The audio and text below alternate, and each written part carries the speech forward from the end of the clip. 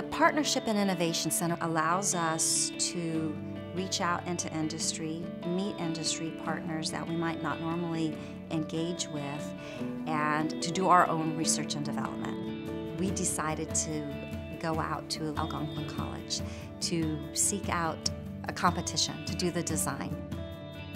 Our team decided to compete um, just because it was such an amazing opportunity. Presenting in front of the judges was a very daunting experience. It was very exciting though at the same time.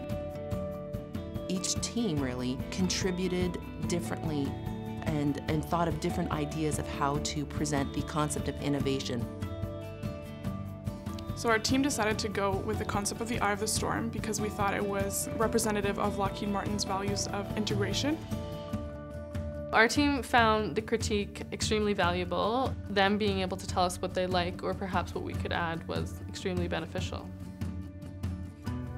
Lockheed Martin is an important uh, member of the, the Ottawa community, and I think it's great that they have a showcase space designed by Algonquin students to do this work having the local college students participate has been absolutely fabulous. Presenting today was definitely a good learning experience. It's something that we would be exposed to when we graduate and that's definitely something that I'm taking to heart and learning from this.